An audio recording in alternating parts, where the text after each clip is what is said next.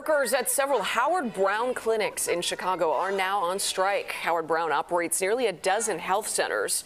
Those on the line are protesting planned layoffs, unfair staffing issues, and labor practices.